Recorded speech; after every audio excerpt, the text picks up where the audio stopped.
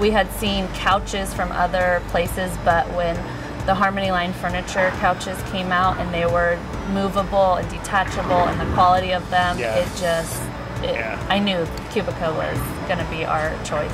One of the things I really liked about the uh, Qubica though is the pieces are movable.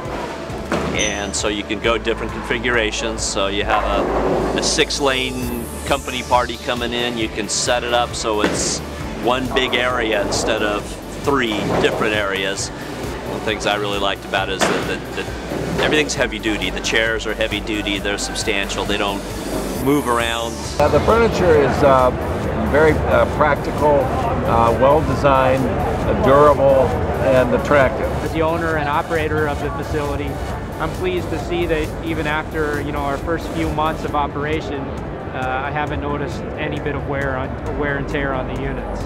So our VIP experience from the bar setup to the billiards to the lanes to the BES X and the beautiful furniture, I mean we are delivering a Ritz-Carlton experience in a bowling center environment.